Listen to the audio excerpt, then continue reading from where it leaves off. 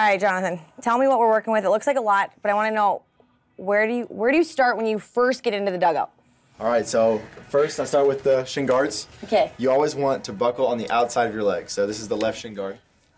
Pull Left strap over your foot so Okay. it doesn't come off. And you just clip up.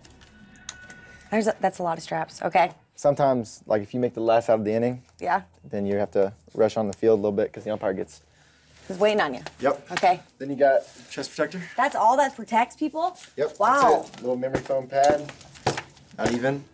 Then you got two sets of uh, helmets.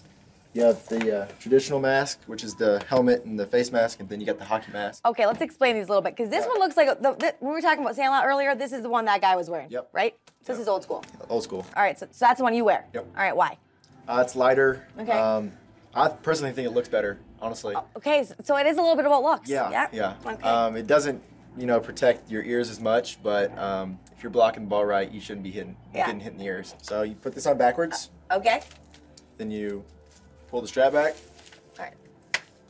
All right. Simple as that. All right. So I don't know about you, but I am very competitive. I hate to lose. And I've never put this on before, but I'd be willing to challenge you to see how fast you can put this on.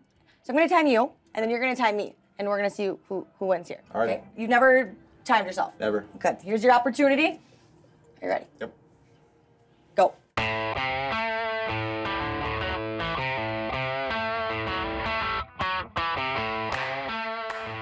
Thirty-three. Uh, yeah. Okay, that was pretty close. Okay, so you're telling me if I beat 33, I've never done this before, then I beat you. Okay, here we go. All right, you ready?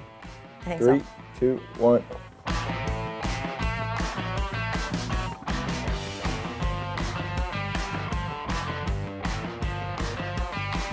Okay, no, I'm pulling on this. Probably gonna mess up your hair. Oh, well, that's all right. Oh wait, this is a glove. Time. That's it. So embarrassing. That's terrible. 110. One minute, ten seconds. All right, that was embarrassing. I can do better. But now that you, we talked about it, now you showed me how to put the gear on. Now you gotta show me some drills. All right, we don't have all day, but if I want to become the next Johnny Bench, what's the first drill I gotta master? Uh, we got to teach you how to squat. So first, you got to give a sign to the pitcher. Okay. So what you do is just like that. Put the glove at the end of your knee, Okay. so the third baseman, third base coach couldn't see it. oh, we're covering. right. Okay, Yep. got it. So we're gonna give a sign to pitcher. One for fastball. Okay. All right. Two for curveball. Three for slider. Wiggle the fingers, change up. It's like the generic pitch calling. He can see all that? Oh yeah. Okay. Oh yeah.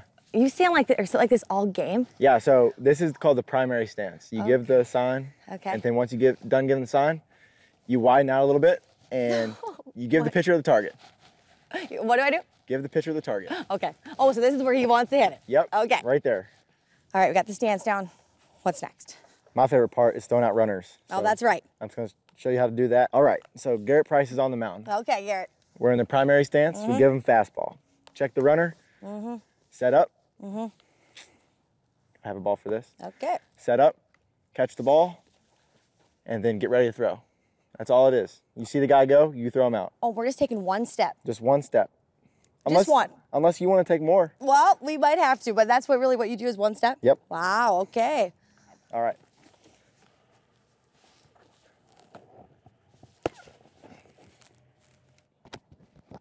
You ready? Yep. How much money will you give me though? $50. If. I actually hit you right in the mitt? Fifty bucks. Fifty bucks. Fifty bucks. Oh, that okay. That was a pop fly. That was bad. Hold on. Let me get my back into it this time. Hey, you might have got him if he was a snail. Are you sure you took one step? It's the position that you just can't stay sick. Okay, here we go.